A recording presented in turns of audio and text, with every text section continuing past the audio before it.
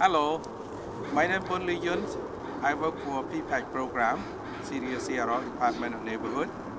Uh, today, I'm going to show you how to connect the pipe and also want to show you what kind of tool that you need to work with your pipe, connecting the pipe, poly pipe, PVC, or uh, galvanized pipes, metal pipes.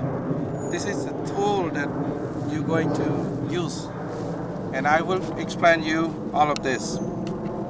If you want to use a poly pipe, this is a poly pipe, just a short one to show you, very short one. There's a rubber kind of tough. This is called poly pipe. If you use this one, it's called poly pipe, and this is the cutter to cut the poly pipe. This is the best tool to cut poly pipe or PVC pipe. Really great. This is a good tool to use. If you don't have this, you can use this kind of uh, hand saws. They can work with metals and PVC pipes and poly pipe pretty well. When you use the poly pipe, um, I always use a Vaseline. Maybe I take my glove and show. Um, okay, hold on a second. This Vaseline work very good with poly pipe to connect with the fitting, metal fitting or plastic fitting. I use it all the time to loop it inside. It's easy to install. To use this kind of pipe have to connect it really carefully, not to wobbling the um, the end of it. It might cause leak later. So install properly will guarantee 100% no leak. Okay. Um, you connect the poly pipe, always use clamps, two clamps. The example of it, we will put like this and then the, the opposite heads. Two clamp at each connecting part. So able to use this clamp to tighten it, we use nut driver. This is called nut driver. See the heads? And you can turn this part to grip the poly pipe.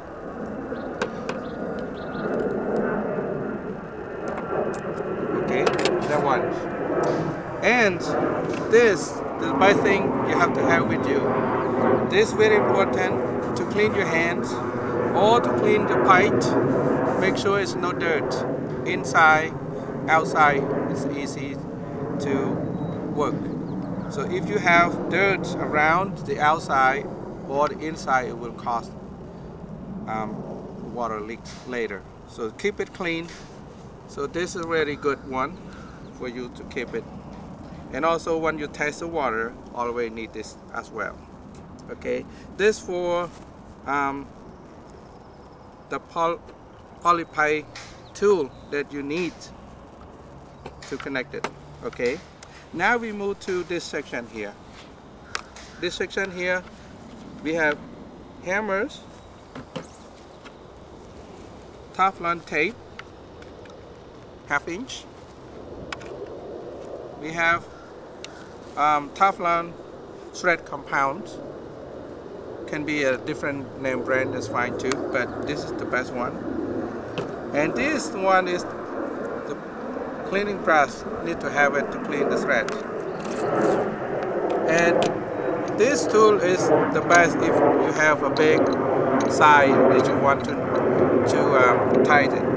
Um, for examples, this really small can work with this. But if it's big, like 3 inches, this will work great. Grip really well. My recommendation, if you have nut like this, very clean, suggest to use the clean um, pipe wrench, no teeth. If you use the teeth, it will damage, like this one, will damage the nut. So we don't want don't want it to mess up with the with the nut. Okay. Um, again, this one is is a pipe wrench. We use this all the time to hold the pipe, something tight. We always use this one. For example, this is the pipe metal galvanized. If you have this kind of pipe, we want to um, connect it to spigot uh, valves. We have to use this one to hold the pipe right here. This can grip the pipe, can stay in one place. So easy to work at the end part right here. If you don't use this one, this is not gonna work. This also has a teeth too, but you're gonna be crying. It's not gonna work. So my suggestion to hold the pipe to use this pipe wrench. And this is called adjustable wrench. This will work good with this side. And perfect. It's no larger than that. That's perfect for this nut. Yeah. But if it's larger, you have to need to use the other kind. So that's for, for that. It's called adjustable wrench. And also this called um, grip. Um, yeah, you can call grip pliers or can be um, or either way. But this can adjustable as well, for small, for big. Okay. And what else do I need to show you? Um, this one is the spigot valve. This is the one that we're going to use when you want to turn on the water. This is going to be right here. And on and off. That's for that. And also this one is called a meter key. This bigger one, longer one that you can use to turn the sub submeter or the bigger shut-off valve. They're pretty easy, very strong. So I can show you um, the place where we can um, see. Um, they have a U at the end right here. Okay, and um, tape measure. Always have tape measure. If you want to cut the polypipe length, um, how, what size you want to cut, two feet, three feet, uh, you cannot guess, you gotta make mistake. So better to use the uh, measuring tape. Okay, and marker is the best one.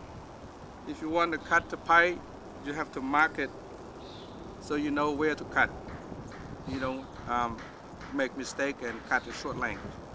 Okay, uh, um, now we're going to build a, or put together to make a spigot riser or spigot valve. Uh, first, we need two, one pipe wrench, and one adjustable high range. And cleaning brush Teflon tape I mean the Teflon tape compound joints and the part okay what we're gonna do for, for the first part you gotta clean. This is the threads I remove the um, plastics and this is what we use to clean the thread to make sure it's no dirt inside okay that's for that one and we're gonna use a T make sure check it all cleans. Look good. This is what we're going to do. I want to show you how to use the Teflon tapes with the threads.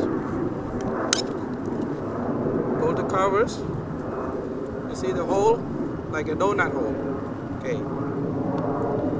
And you pull this a little bit. See that? Yep. Put it down like this. Not up like that. Like this. Okay? Down like that.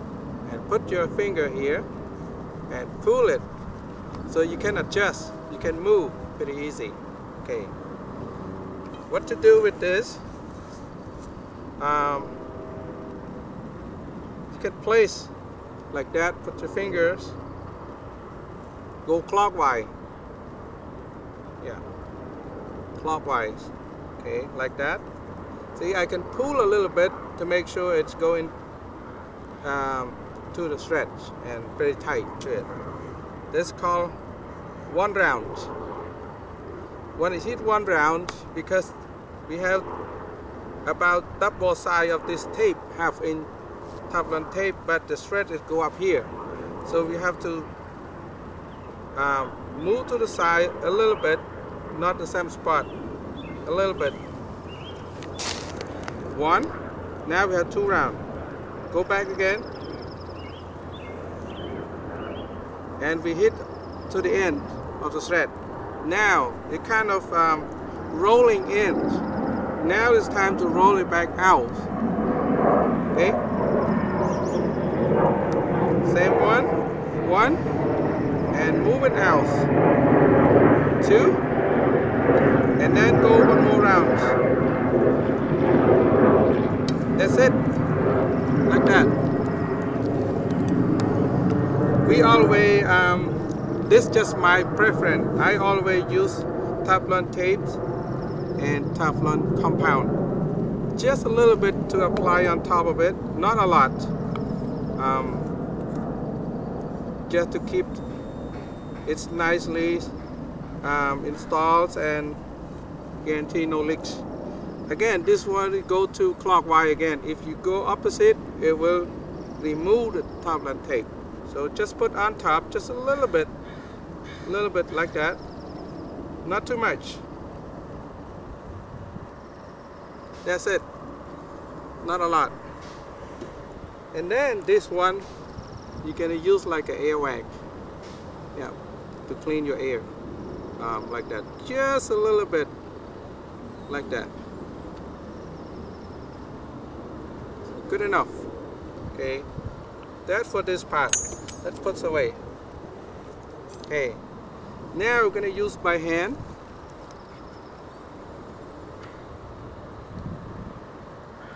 Make sure it's no crooked, straight. Use it by hand and tight it until you cannot go. It's about halfway. My hand may be two pounds um, or three pounds, but can't go. So this is the tool that we're going to use. Use this one to clip it.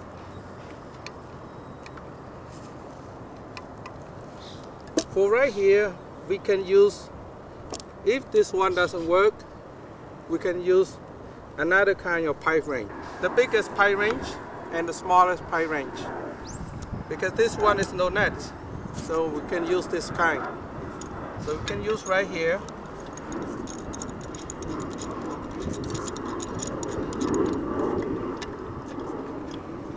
This have to use opposite way.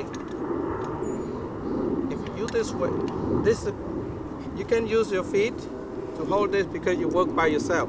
I work by myself, so I can do this on my own. No need two people. But if you don't have more people, you can have to hold the pipe. But if not, my uh, foot, step on this one, this grip right here, and I can work right here for freely. So again, clockwise, okay, keep going until it tight.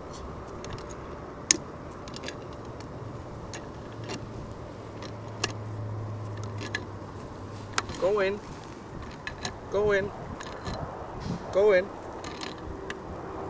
You say, good. Yep. Okay. Now we got a T. Next step, we're going to use this one to connect right here. Um, to make a double spigot valve. Both sides. One for this side and one for this side. Okay, let's do it. What we need to do, we got clean again. And again, this thread is not big, it's just small. It's about the same size as the Teflon tape. So, again, pull it. This you can adjust with your finger. And you're not mess up with that and uh, loose. And it's gonna be tight to the thread and install properly. Again, same see as my finger. I can pull it, it stay. So you don't have to you don't have to roll this way and back out. You don't need to do that because the thread is small. So what you do, you just say one, two, three. Some uh, might need three and a half, some might need three, some might need three round and a quarter or uh, half. Add another half or another quarter. But for me, I think it just a quarter. About right here. So you can, uh, like that. Again, compound joints or this is the best brand I recommend. Really fine. Again, just a little bit around, not go backwards. If you put too much, uh, we don't need too much. It's gonna be mess, messy. So just a little bit like that. What's in the way? Again, use by hands. Slowly, like that. Go with your hands until your hand tired cannot go, then you can use a tool. My hand cannot move. Then this time we can use this one. Now, you have to have something to um, prop um, underneath, so easy for you to do the work. If you lay on the ground, it's, it's fine. If you don't have um, something to put, or uh, table, if you have table, you can put table. But for me, I like to use this one. It's worked great for me. So I hold like that. I do like this. Pretty easy, not hard. Okay, just one. Keep going.